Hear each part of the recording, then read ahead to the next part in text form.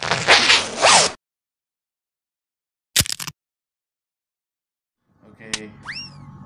Hi students, how are you today?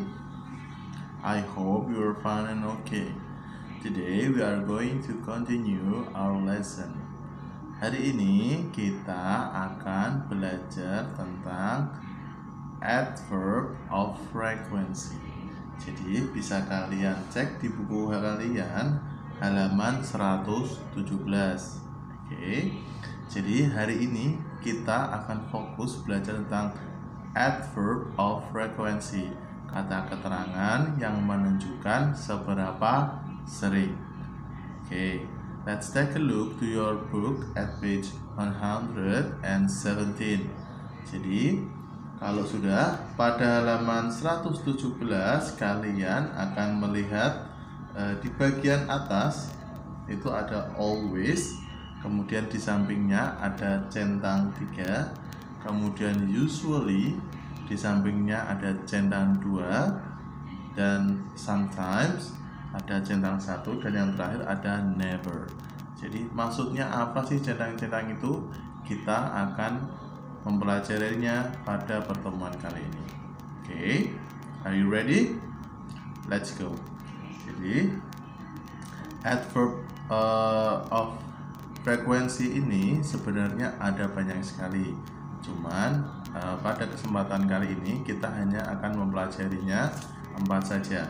Ada always ada usually ada sometimes dan ada never. Oke okay, let's go.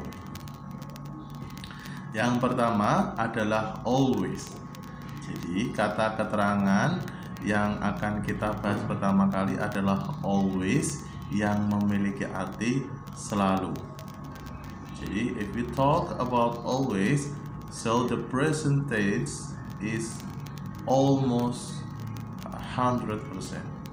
Jadi, kalau kita berbicara tentang always, artinya kita melakukan kegiatan itu terus-menerus tidak pernah bolong sekalipun. Jadi, presentasinya sekitar 100%, 100% always do that activity. Contohnya, for example, let's take a look to this picture. Halaman 117 contohnya, Tigor always plays basketball with his friend after school. Jadi sebenarnya yang membedakan antara always dan yang lain usually, sometimes dan never itu yang membedakan hanya pada presentasinya. Jadi kalau always itu 100% jadi selalu. Jadi Tigor always plays basketball with his friends after school.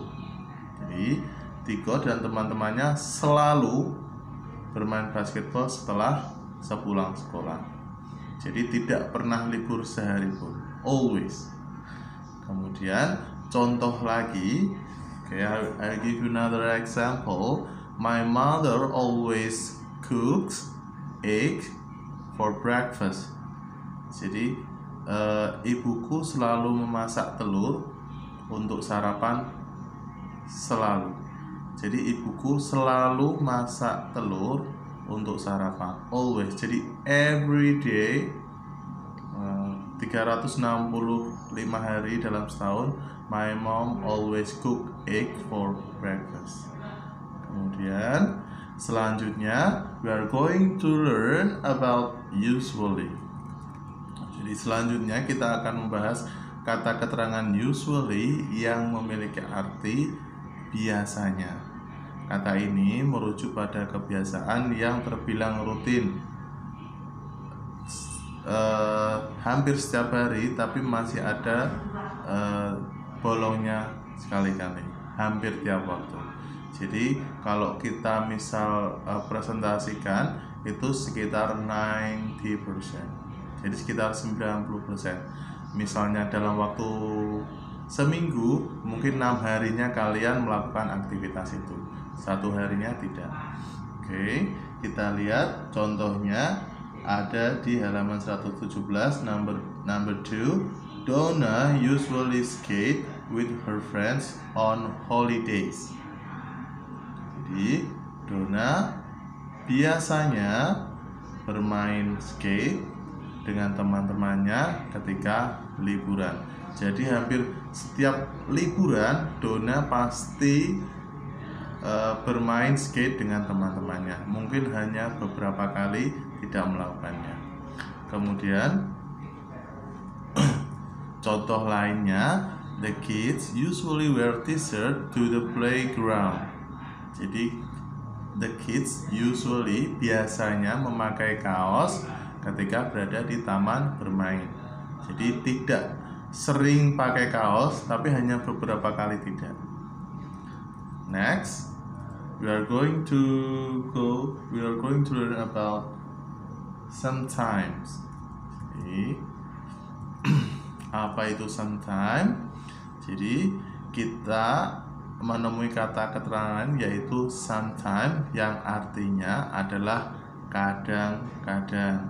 Kalau kita uh,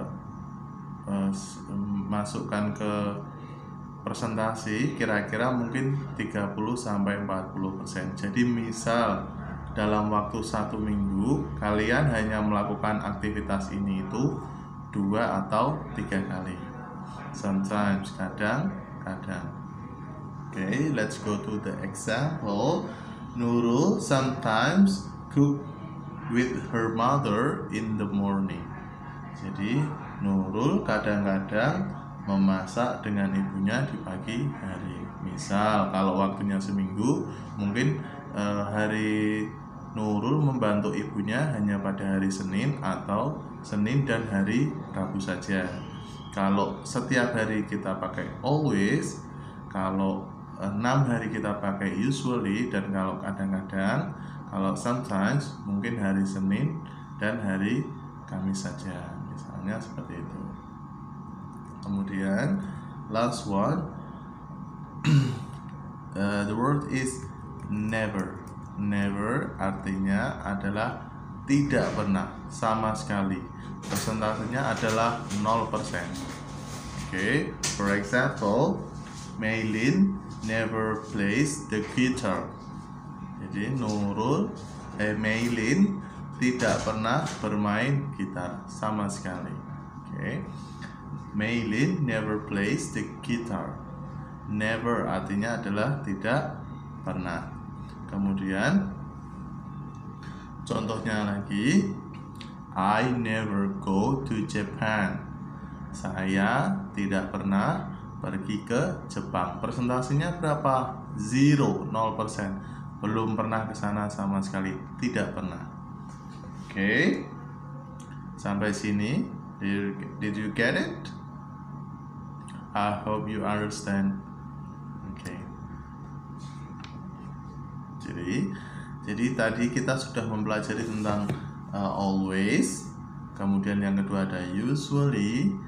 Next we have sometimes. And the last one is never jadi yang membedakan itu hanya pada seberapa seringnya presentasenya kalau always itu 100% jadi for example uh, in a week jadi kita misalnya kalau contohnya 7 uh, 7 hari satu minggu kalau always berarti kita full 7 hari kita melakukan aktivitas tersebut. Kalau uh, usually 4 atau 5 hari kalau sometimes itu 2 sampai 3 kali Kemudian kalau never artinya tidak pernah. Oke. Okay. Okay, I think that's all for today. Uh, hope you understand the lesson. Thank you very much. Uh, have a nice day. Thank you. Bye bye.